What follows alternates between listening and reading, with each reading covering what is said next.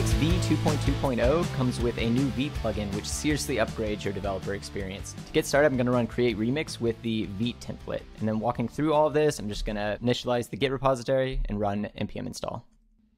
Now we can just open this up in VS Code. And let's go ahead and run npm run dev.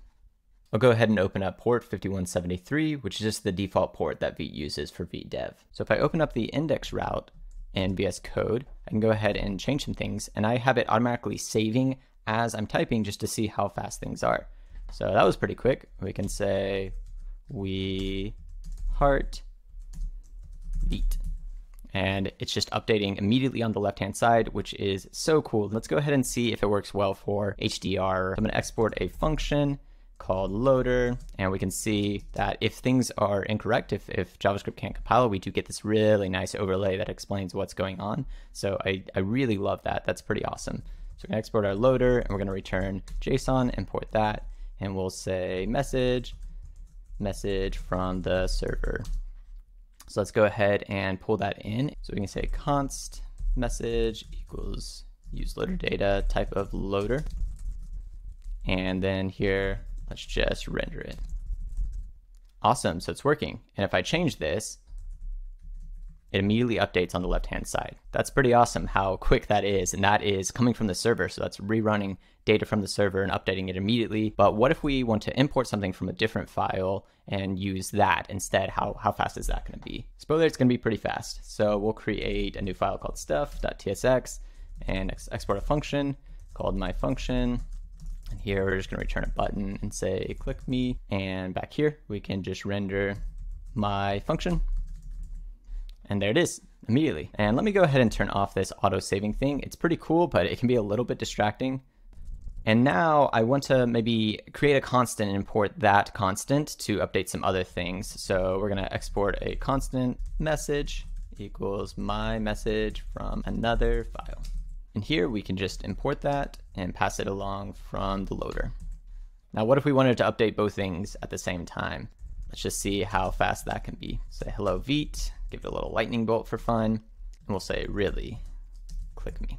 So saving that updated everything immediately, we have that message coming in through the loader. So that's a server specific thing. And then we have my function as a component on the client rendering, uh, both doing server side rendering and client side rendering, which is just incredible. This is so fast and so awesome as it is. But honestly, that's just the tip of the iceberg. There's so much more you can do because you get access to the entirety of the Vite plugin system, which is extensive and pretty amazing. So what if I want some routes to be MDX routes? I want to create a blog or whatever it may be. So I'm going to create blah.mdx and we're going to say, you know, hello MDX. And I want to be able to navigate to this. I'm going to add a link here and we'll say to blah and say go to blah we can see that things immediately failed. Uh, everything blew up. This is this is not great. This is not what we want. And that's just because we have no way right now to parse that MDX file. We don't really know what that is. How do we handle MDX? We do it the same way all Vite apps do. We're going to grab a plugin for parsing MDX. In this case, I'm going to use a popular one called mdx-js slash rollup. And then inside of our Vite config, we can go ahead and import MDX from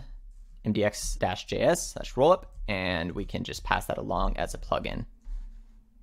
And now it knows what to do. When we go to blah, it actually knows how to render hello MDX, which is quite amazing. That was incredibly easy and very, very fast. Okay, I want to do more though. I want to use some front matter to be able to drive the, the title of my tab here. So I want to add this front matter at the top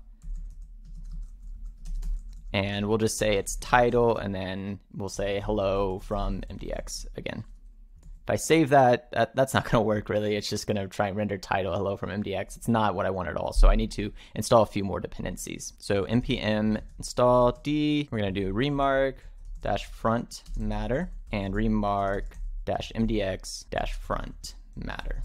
Okay, back in the Vite config, we'll import remark front matter from remark, front matter. And the same thing here, but this one will be MDX. And this one will just say MDX. And so now we can just pass these into the MDX plugin with the remark plugin and pass this as just an array.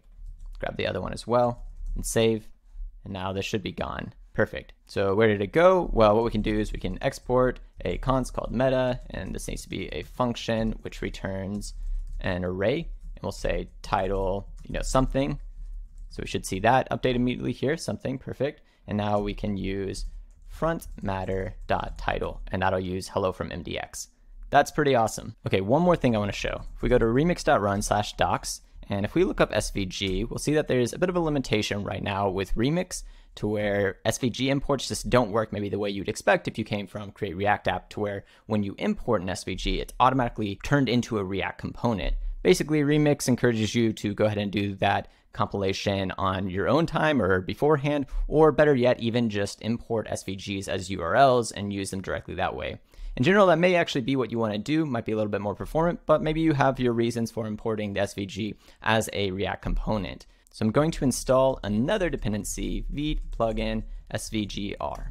Back in the Vite config, we can go ahead and import svgr from Vite plugin svgr, and we'll go ahead and just pass that as another plugin. Cool, now we just need an SVG. So I'm gonna create a folder in app called assets, I should have a remix logo in my downloads. Here we go. I'm going to pull that into assets. Perfect. So now here inside of index, I want to go ahead and just import remix logo from assets slash remix logo. If we look up Vite svgr, we can go ahead and see that our importing needs to have a little question mark react at the end. So now this should work as expected let's go ahead and try and render our remix logo at the very top. Going back to our page, if we go back to the home page, we can see this giant remix logo. That's not what we want, but because this is just regular React components, we can pass stuff along. Now, unfortunately, my types aren't working, so we're just going to go back and see, ah, we needed to add this little reference. So we have a .d.ts file. We can just add it along here, and this should work now. So now we can look at our page and add a width of maybe 24 pixels and a height also of 24 pixels. That is way better. And if for some reason we really want to, we could add a stroke and say it should be red and then a stroke width of, I don't know, like 100 or something. And that looks terrible, but we can do it now, which is awesome. So now you have the entire Vite plugin ecosystem at your disposal for lightning fast DX. We're incredibly thankful to the Vite community and contributors for being really open as we've been developing this plugin. And finally, this plugin is unstable. So if you encounter any bugs or API decisions that you're not super sure about, we'd really love that feedback so that we can make sure this is perfect for everyone. Either way, we hope that this makes your experience developing remix apps delightful and fast.